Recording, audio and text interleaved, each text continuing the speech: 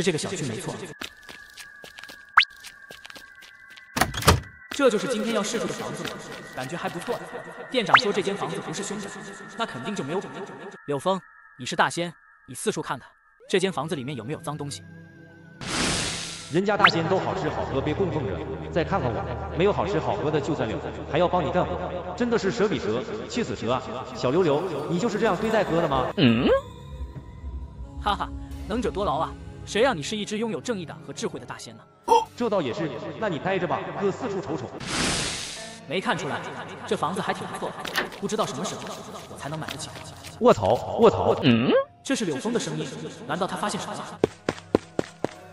怎么了，柳峰？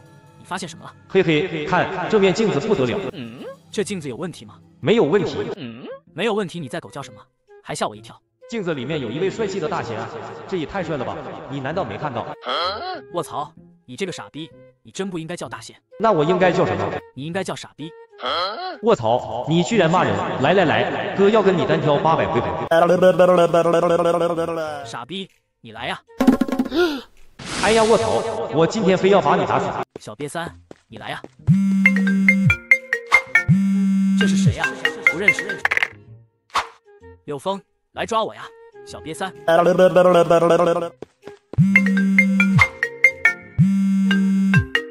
大师，大师救命啊！嗯，你谁呀？认识吗？大师，我是王大虎啊。中午在医院咱们见过，你给我留了你的电话，快救救我！我妈来找我了，一直闹呢。电视上、镜子里全都是我妈，我错了，我真的错了。哦，原来你还知道你妈回来找你了呀？大师，我错了，我真的错了，快救救我吧！我给钱，我给钱还不行吗？我这就给你一万块。一万？呵呵，现在我要十万。什么？十万？臭小子，你抢钱啊？穷疯了是吧？没得商量。原来是那个酒鬼，真的是世界之大，无奇不有。一百一十万，发财了，发财了，哈哈哈！兄弟，打个折行吗？王大虎，我告诉你，之前你母亲答应给我一万块，你还欠我九千，现在我要其余的九万，是解决你眼下的麻烦。你记住，给出马先生的压箱钱一份都不能少。我给你一个账户，给还是不给，你自己看着办。账户已经发给你了，要打就现在，过时不候。好，我给，我给。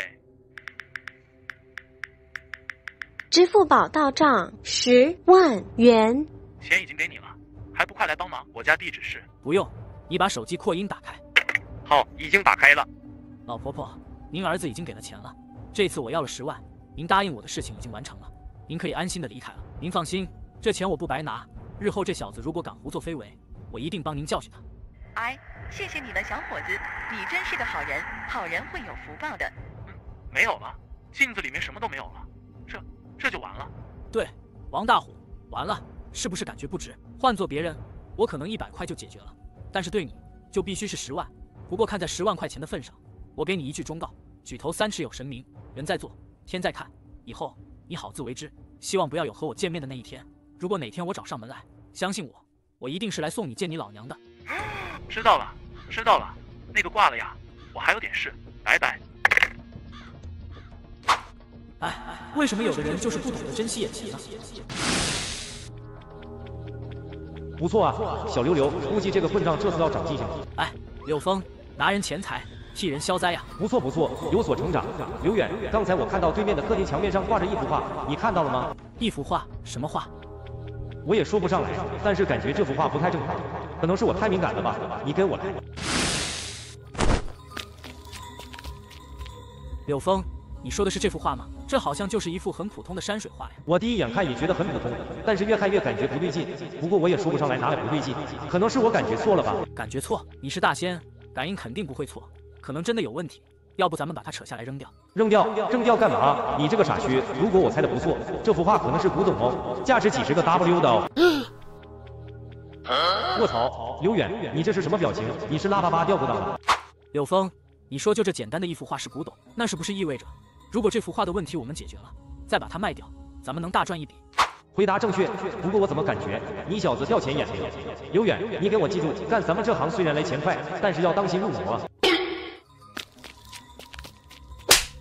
柳峰，你瞎说什么呢？我可不是那么贪财的人，我只是想到领堂先生至今还住在城南的破庙里面，生活艰苦。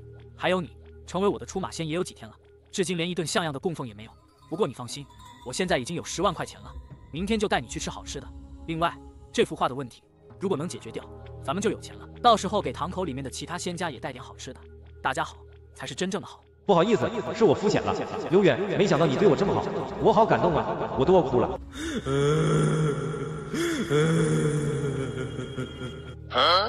卧槽，柳峰，你装哭的本事有点厉害啊！而且感觉你最近学了很多互联网词语啊。那当然，也不看看本大仙是谁。平时你睡觉了之后，我就玩你手机啊，还有看电脑。玩我手机？卧槽，你别侵犯我隐私啊！哈哈，你要是怕我侵犯你隐私，你给我买一个手机也行。我看最近水果十四就挺好，给我买一个吧。有没有搞错？你是一条蛇哎！你要玩什么手机？好了，咱们说说这幅画吧。这幅画现在看起来没什么异常啊，怎么弄？现在白天看起来是很正常，但到了晚上就不一定了。晚上咱们再看看就知道了。刘远，你到底给不给我买手机？给个痛快话！你见过有蛇玩手机的吗？真的是一条蛇还要玩手机？行行行，等这幅画的问题解决了，我就带你买手机去，到时候给你买水果十四，好不好？但你要好好表现，否则不给你办卡。放心放心，我绝对听从领导安排，我这就去检查房子。哎，有钱能使鬼推磨，有钱能让蛇听话。本集播放完毕，请您点赞、评论、分享，下集更加精彩。